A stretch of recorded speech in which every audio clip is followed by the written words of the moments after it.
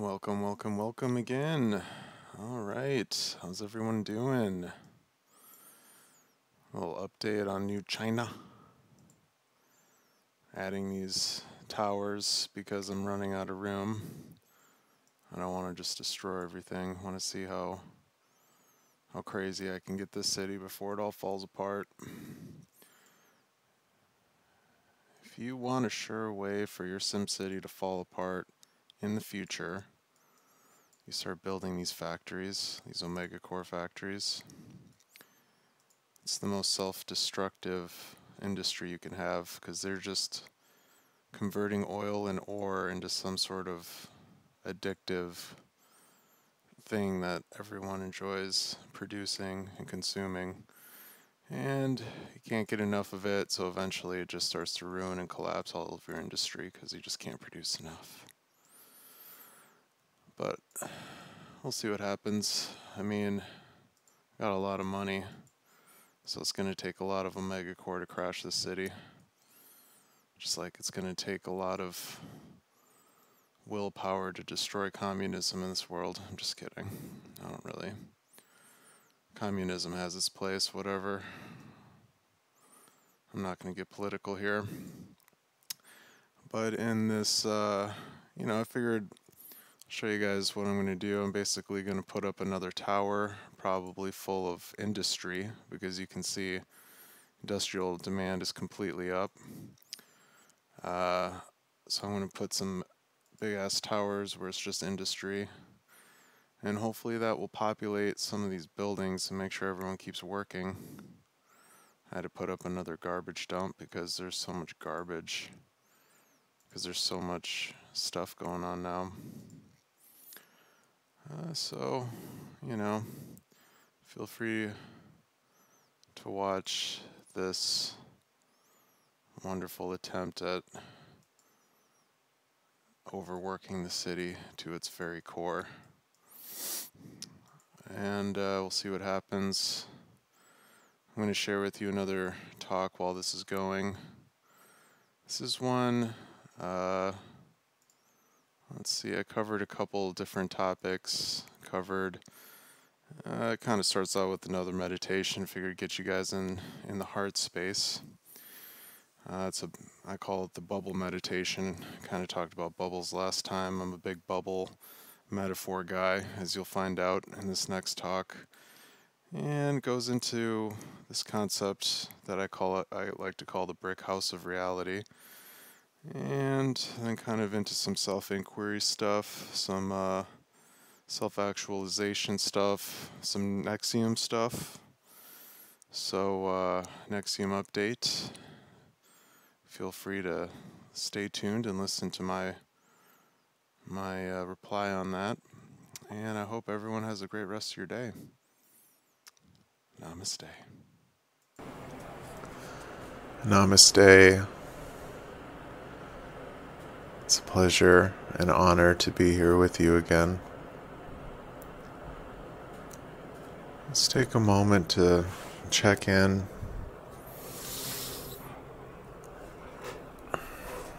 Feel free to get comfortable. Feel free to transcend some of the thoughts you're having and go right into your feeling. What are you feeling right now? Where are you feeling it? Is there an uneasiness? Somewhere located somewhere? Do you feel the space between your body and the environment, whether it be a chair or bed? Or the ground. And let's take a couple deep breaths together, focusing on the rising and the falling right in the middle of your chest.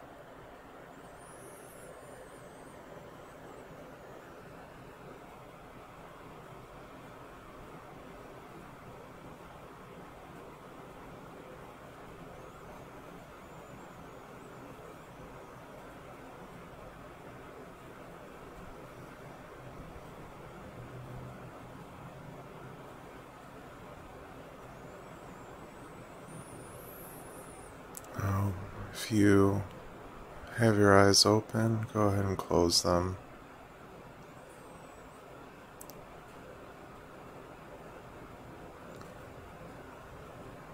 And if you can't close your eyes, maybe you're busy doing something, that's okay too. Just close your perception off to the outside world for a moment. We're going to go inside.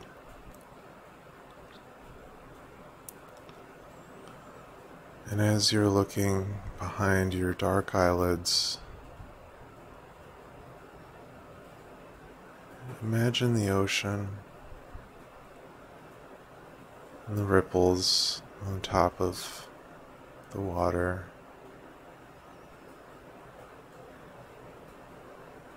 Now go into the ocean. Go so far deep, further down than any human could ever possibly go.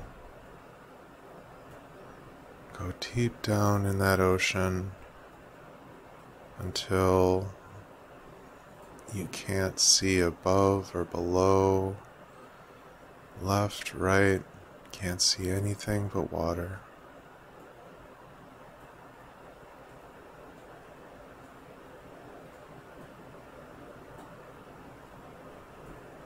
It's dark, it's silent,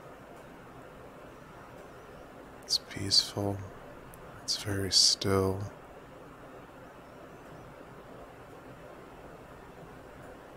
Now imagine that this water is so pure, so clear. There's not a single thing to obstruct light or awareness. It's just a clean, pure, empty reality of water.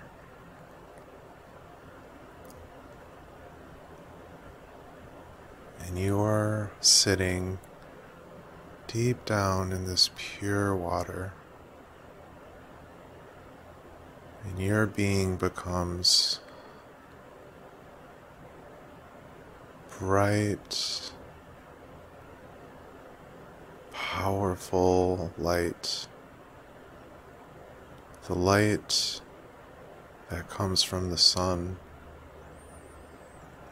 become the sun and shine your light through this pure translu- transparent water and just let your light go as far as it can go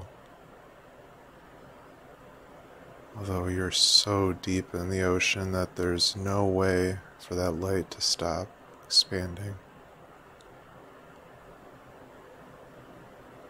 And as you're shining in this wonderful, vast ocean, you notice way off in the distance, way, way off, you see some bubbles, but you can't tell where they're coming from. You don't know if they're coming up or down or side, but they're coming right at you. They're so small at first and they're getting bigger. And there's so many bubbles now and they're getting closer. And there's so many bubbles coming towards you that eventually these bubbles completely surround you. And they keep coming and coming. And you can notice the vast amount of bubbles in this water because of the way that your light is reflecting right off of the surface. And there's so many bubbles, so far, so vast, that there's up and down and left and right, all there is is the bubbles in your water, and your bright light shining around these bubbles. Now open your eyes.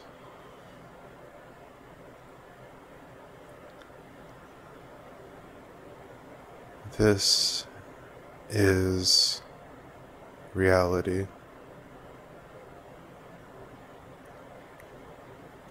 This is where we are.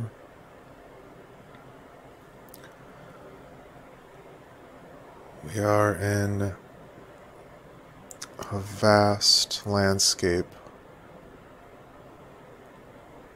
where our inner light, our energetic force, our beingness is shining across a vast landscape, creating concepts and ideas and stories And through, somehow, through some of these bubbles, we've come upon your life.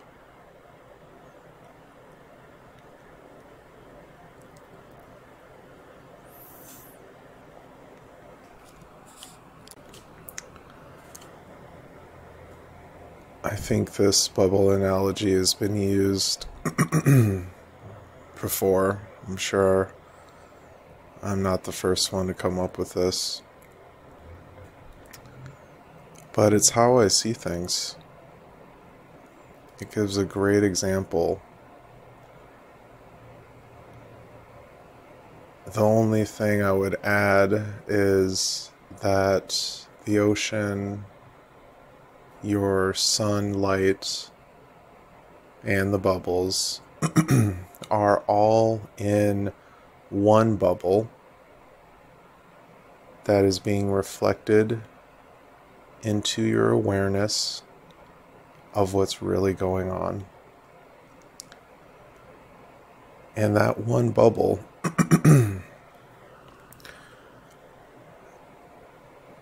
is the ultimate oneness with everything.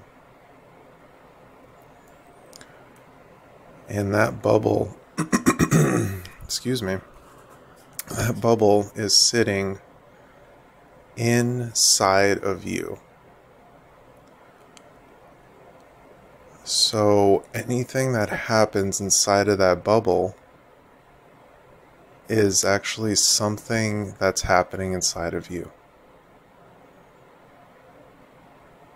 So, in other words, everything that happens happens in you and is a part of you.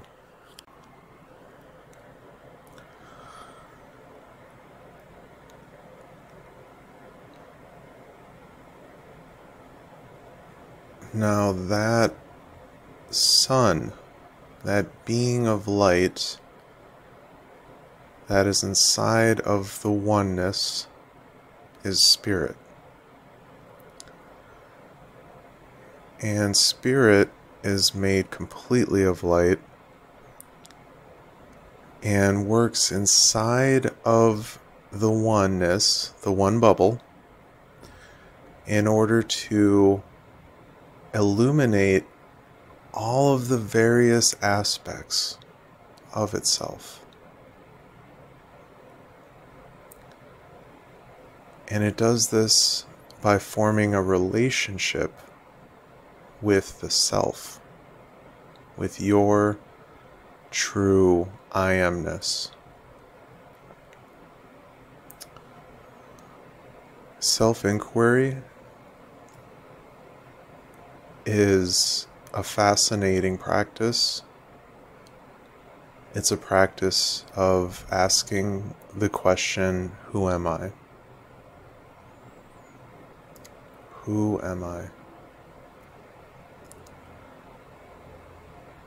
And when we go deep with that question,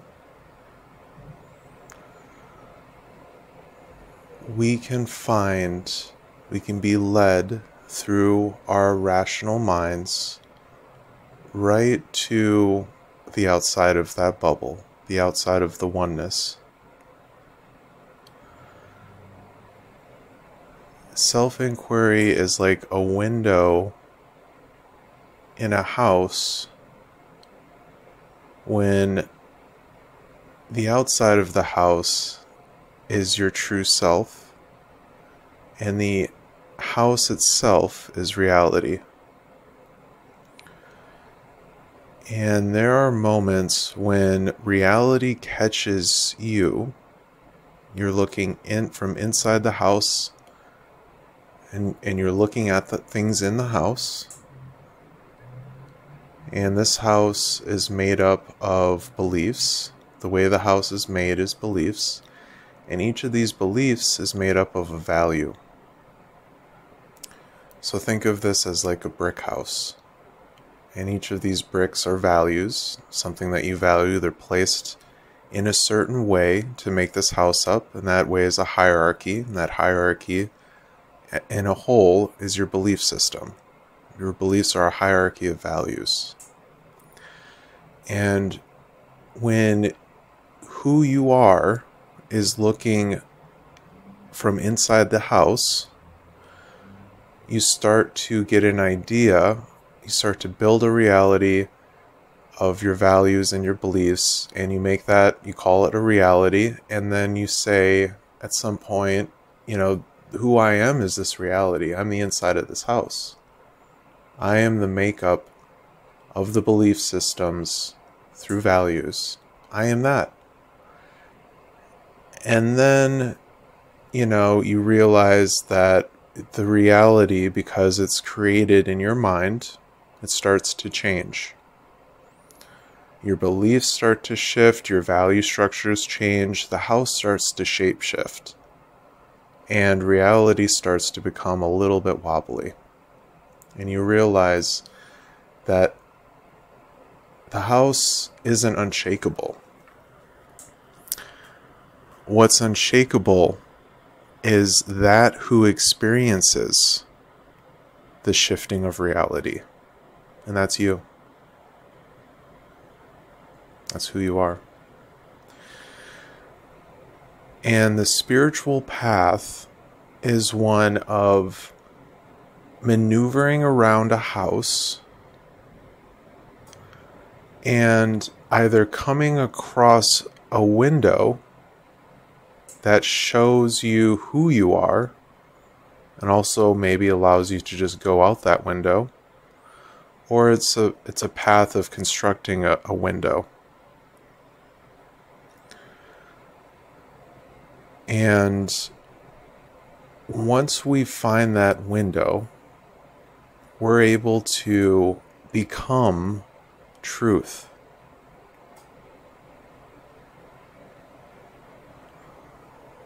And that truth, the one truth, is the answer to who am I? And so, again, asking yourself that question, going into it deeply, and becoming self realized is taking your ability to to make reality using that ability to to find yourself out of this this house you've built of conceptual beliefs.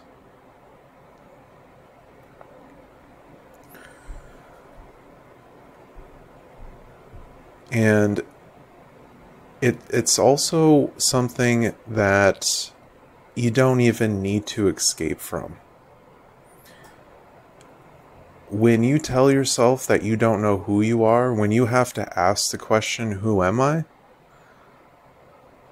you're looking at the walls of the home.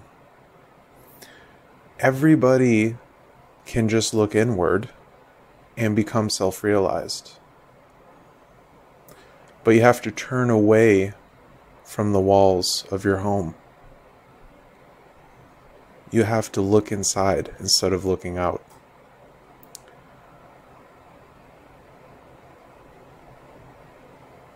And there are a lot of tricksters out there on this wall who are going to point you towards traps. They're going to say, "Oh, here is here's how you construct a window." And then they can then you're busy constructing and constructing all the meanwhile being taken advantage of by tricksters. Like this NXIVM cult, I just read an article by Nicki Clyne, who is one of Keith Raniere's loyal devotees. Even after he was arrested, she stayed with him rallied for his release and, you know, just tried to protest and say, oh, he's innocent and all this, you know, FBI planted evidence. I'm not saying the FBI didn't plant evidence, but I think that if you just take a step back and listen to the people that dealt with this Keith Raniere and this NXIVM, I think their testimonies alone show that this guy just was kind of not cool. You know, like he was pretty not cool. Um, but it's interesting to hear Nicki Clyne come out because, like, she was like stone cold devoted so I give her props on that. I don't know what sparked it. You know, maybe this is like a PR campaign. Maybe she really doesn't, you know, renounce him. I don't know. But it was interesting what she said about how he hooked her. Because he he asked her like something like, "Oh, what's what's the most important question that you, you know, you could ask an omniscient being?" And you know, she was like, Well, who am I? I want to know that. And so Keith flipped it and took this thing where you just you go to the opposite route of whatever you want. And going to the opposite is supposed to like combine your karmas somehow so that it equals out and boom you you are it. It just it's a little twisty you know it's a little twisty. Like you know basically he was like well what are you most scared of nicki clyne? And she was like my biggest fear is that i would be sleeping with you you know and so keith Raniere is like well that's your biggest fear. You got to overcome that shit. You got to sleep with me. You know? And you know, it's like the the the he was a master at making traps and then he abused people through the mental traps that he created for them. And it's like you know who are you well maybe you're you you are what you end up to be you know, like he was the master at traps and he ended up in a really a really big trap and that's prison. You know, life sentence. You know, legally you can't get out. So far. So he ended up in a trap. He is a trap. He created all these traps and I, why, why I like Ram Dass is because he's like you gotta find you know that all these methods are traps, but you have to find the self-destructive traps. You know, traps are only good insofar as they can lead you to a place where you have to let go of it. And Raniere never got to that point. He was always like, I am more rational than you. I am the most intelligent man in the world. So you must listen to me. I will guide you there. But it's also interesting because if you really believed that the most rational thought in your mind was somebody that was a completely evil, awful person and actually didn't have any, you know, he didn't have your best interest at heart, And you're like, well, that's not, that's the opposite path I want to take. So it's like you're saying rational intelligence, you know, beyond what I can comprehend is evil, is the opposite of what I think. That in turn should, maybe that crushes your own rationale. So you transcend rational. You know, maybe that too. Maybe he's doing, maybe he put himself in prison. He became an awful person. And then he had to show everybody how awful he was just so that these people could transcend their own rational thought and say, well, being rational and being intelligent only gets you so far. And so, what's beyond rational thought? That's the answer to who, who am I? Who you are is beyond rational thought. It's beyond intelligence. It is your only truth. It's the unchangeable thing. Everything intelligent and rational happens in the mind. Everything in the mind changes. So, what's rational today could in a hundred years be completely crazy. Hell, in the next week, it could be completely crazy, you know? Donald Trump became president. That happened. So everyone got locked down because of COVID. And I think we all understand, if we pay attention, we all understand how dangerous COVID is. Was. History will be. History will tell on that. I'm not going to get into that. Um, I digress.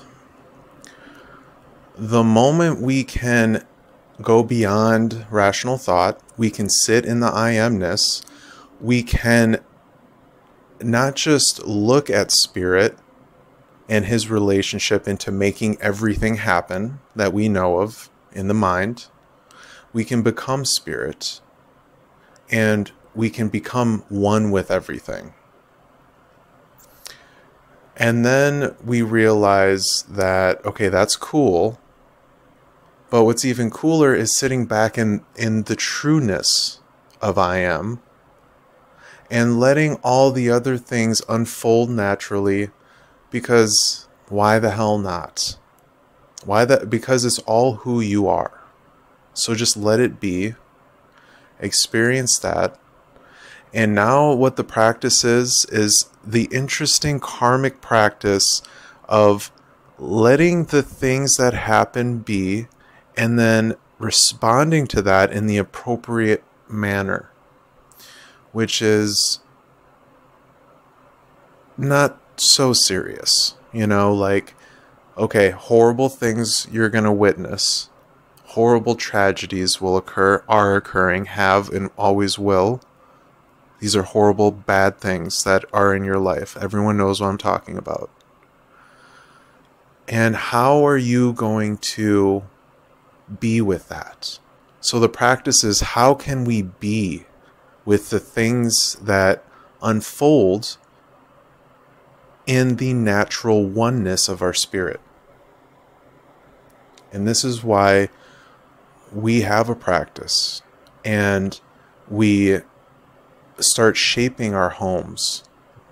We become interior decorators of spiritual understanding, of the ways people have decorated their homes who have come up with, you know, realizations in the past. We start doing that with us. We start to go down those, you know, go down those ways to eventually go out a window. Once we go out the window, we're never in the same home again. Like, if I were me going back into the house I built prior to my realization, would be as crazy as that memento guy tattooing himself up a mystery after he's already solved the mystery of who killed my wife. You know, he's just like, okay, I'm going to forget and I'm going to start playing a murder mystery where at the end of this, I'm going to end up killing somebody again. It's a psychopath. I would have to be a psychopath to go back into that house. You know? That's how I see it. Because we are all in this in this idea, you know, in this framework, we are all one why would we want to forget that and start playing me versus them? You know, us versus them again? What? No. So we meditate to observe the inner monologue, to disassociate the feelings we have with our thoughts. We cut those off and we focus in on feelings and we witness our thoughts.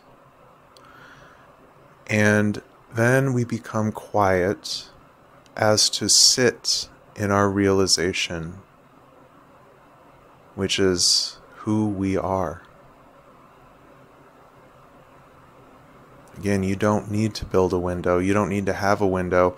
You just need to sit with your eyes closed, stop identifying with the pictures on your wall.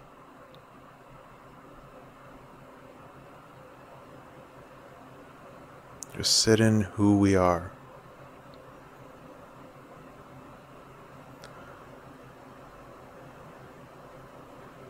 And it is a relief. It is a breath of fresh air when we can just be.